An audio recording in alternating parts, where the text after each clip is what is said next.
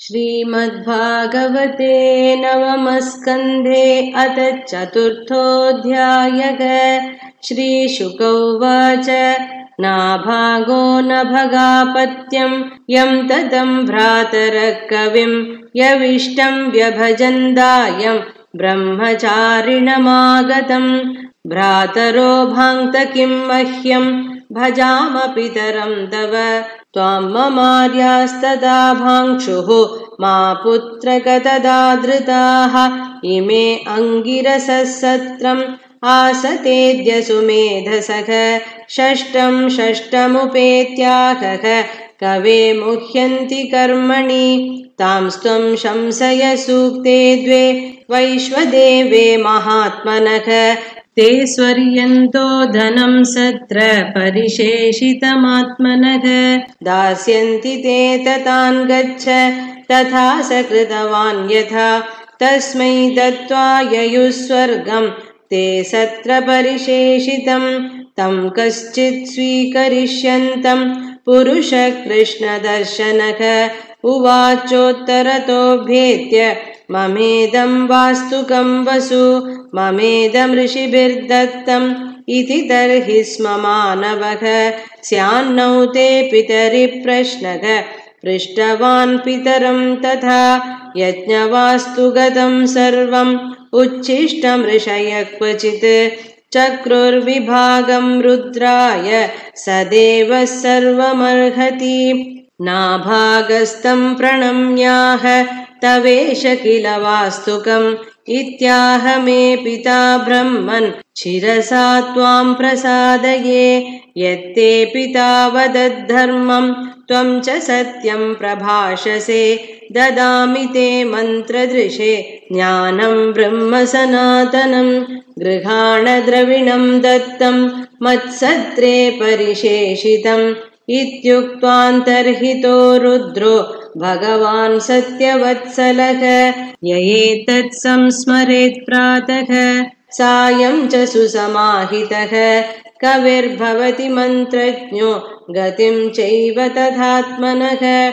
नाभागादम्बरीशोऽभूत् महाभागवतकृति नास्पृशद्ब्रह्मशापोऽपि यं न प्रतिहत क्वचित् राजोवाच भगवन् श्रोतुमिच्छामि। राजर्षेस्तस्य धीमतः।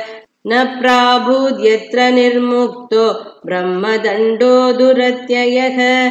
श्रीशुक उवाच अम्बरीशो महाभागः। सप्तद्वीपवतीं महीम् अव्ययां च श्रियं लब्ध्वा विभवं चातुलं भुवि मेनेति दुर्लभं पुंसां सर्वं तत् स्वप्नसंस्तुतं विद्वान् विभवनिर्वाणं तमो विशति यत्पुमान् वासुदेवे भगवति तद्भक्तेषु च साधुषु प्राप्तो भावं परं विश्वं येनेदं लोष्टवत् स्मृतं स वै मनः कृष्णपदारविन्दयोः वचांसि वैकुण्ठगुणानुवर्णने करौ हरेर्मन्दिरमार्जनादिषु श्रुतिं चकाराच्युतसत्कथोदये मुकुन्दलिङ्गालयदर्शने दृशौ तद्भृत्यगात्रस्पर्शेऽङ्गसङ्गमम् घ्राणम् च तत्पादसरोजसौरभे श्रीमत्तुलस्यारसनाम् तदर्पिते। पादौ हरे क्षेत्रपदानुसर्पणे शिरो कृषिकेशपदाभिवन्दने कामम् च दास्येन तु कामकाम्यया यथोत्तमश्लोकजनाश्रयारतिः।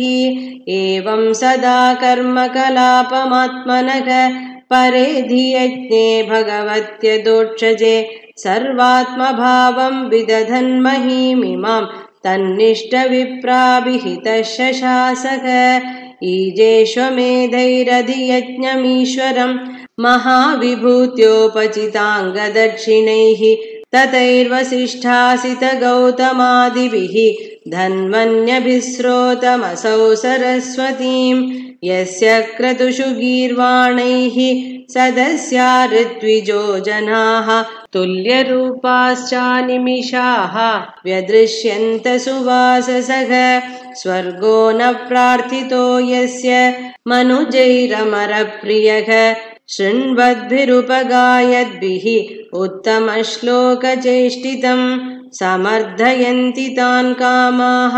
स्वाराज्यपरिभाविताः दुर्लभानापि सिद्धानां मुकुन्दं हृदि पश्यतः स इत्थं भक्तियोगेन तपोयुक्तेन पार्थिवः स्वधर्मेण हरिं प्रीणन् सङ्गान् सर्वाञ्चनैर्जहौ गृहेषु दारेषु सुतेषु बन्धुषु द्विपोत्तमस्यन्दनवाजिपत्तिषु अक्षय्यरत्नाभरणायुधादिषु अनन्तकोशेष्वकरोदसन्मतिम् तस्मा अदाधरिश्चक्रम् प्रत्यनीकभयावकम् एकान्तभक्तिभावेन प्रीतो भृत्याभिरक्षणम् आरिराधयिषु कृष्णम् महिष्यातुल्यशीलया युक्तः संवत्सरम् वीरो दधारद्वादशी व्रतम् व्रतान्ते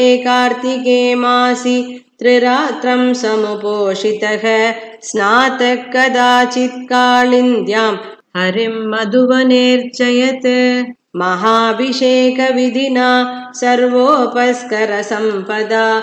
अभिषिच्याम्बराकल्पैः गन्धमाल्यार्हणादिभिः तद्गतान्तरभावेन पूजयामास केशवम् ब्राह्मणांश्च महाभागान् सिद्धार्थानपि भक्तितः। गवां रुक्मविषाणीनाम् रूप्याङ्घ्रीणां सुवाससाम् पयशीलवयोरूपवत्सोपस्करसम्पदाम् प्राहिणोत्सादु विप्रेभ्यो गृहेषु निर्बुधानि षट् भोजयित्वा द्विजानग्रे स्वाद्वन्नम् गुणवत्तमम् लब्धकामैरनुज्ञातः पारणायोपचक्रमे तस्य तर्ह्यतिथि साक्षात् दुर्वासा भगवानभूत् तमानर्चातिथिम् भूपः प्रत्युत्थानासनार्हणैः ययाचेभ्यवहाराय पादमूलमुपागतः प्रतिनन्द्य स तद्याञ्चाम् कर्तुमावश्यकम् गतः निममज्ज बृहध्यायन् काळिन्दीसलिले शुभे मुहूर्तार्धावशिष्ठायाम् द्वादश्याम् पारणम् प्रति चिन्तयामास धर्मज्ञो द्विजैस्तद्धर्मसङ्कटे ब्राह्मणातिक्रमे दोषो द्वादश्याम् यदपारणे यत्कृत्वा साधु मे भूयाद् अधर्मो वा न मां स्पृशेत्।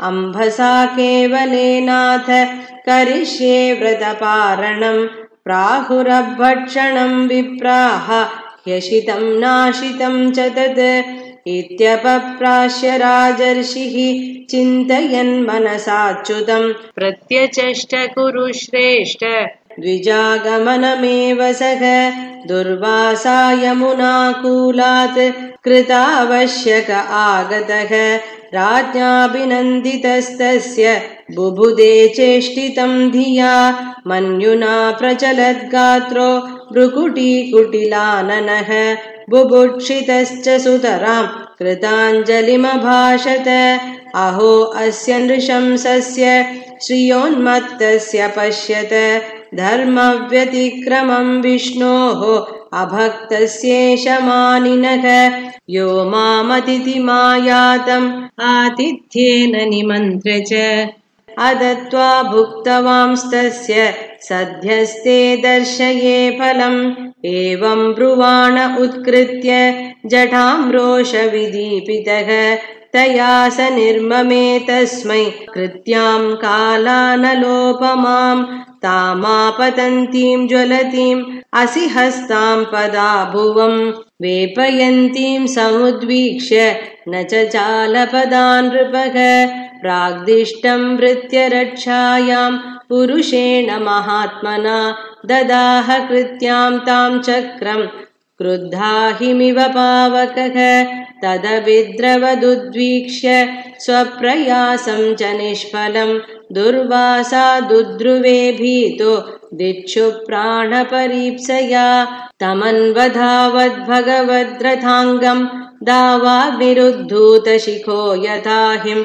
तथानुशक्तं मुनिरीक्षमाणो गुहां विविच्छु प्रससारमेरोः दिशो न भक्ष्मां विवरान् समुद्रान् लोकान् सपालान् त्रिदिवं गतः सख यतो यतो धावति तत्र तत्र सुदर्शनं दुष्प्रसहं ददर्श। अलब्धनाथस्य यदा कुतश्चित् सन्त्रस्तचित्तोरणमेषमाणः देवं विरिञ्चं समगाद्विधातः। त्राह्यात्मयो नेजिततेजसो मां ब्रह्मोवाच। स्थानं मदीयं सह विश्वमेतत्। क्रीडावसाने द्विपरार्धसंज्ञे भ्रूभङ्गमात्रेण हि सन्धिदक्षोः। कालात्मनो यस्य तिरो भविष्यति। अहं भवो दक्षभृगुप्रधानाः प्रजेशभूतेशसुरेशमुख्याः। सर्वे वयं यन्नियमं प्रपन्नाः मूर्ध्यर्पितं लोकहितं वहामग प्रत्याख्यातो विरिञ्जेन विष्णुचक्रोपतापितः दुर्वासा शरणं यातः शर्वं कैलासवासिनं श्रीरुद्र उवाच वयं न तात प्रभवाम भूम्नि यस्मिन् परेण्येऽप्यजजीवकोशाः भवन्ति कालेन भवन्ति हीदृशाः सहस्रशो यत्र वयं भ्रमामग अहं सनत्कुमारश्च नारदो भगवानजः। कपिलोपान्तरतमो देवलो धर्म आसुरिः मरीचिप्रमुखाश्चान्ये सिद्धेशा पारदर्शनाः। विदामन वयं सर्वे यन्मायां मायया वृताः तस्य विश्वेश्वरस्येदं शस्त्रं दुर्विषहं हिनः तमेव शरणं याहि। हरिस्तेषं विधास्यति ततो निराशो दुर्वासाः। पदं भगवतो ययौ। वैकुण्ठाख्यं यदद्यास्ते श्रीनिवासश्रियासख सन्दह्यमानोजितशस्त्रवह्निना। तत्पादमूले पतितः स वेपतुः। आहाच्युतानन्तसदीप्सितप्रभो कृतागसम्मावहि विश्वभावन।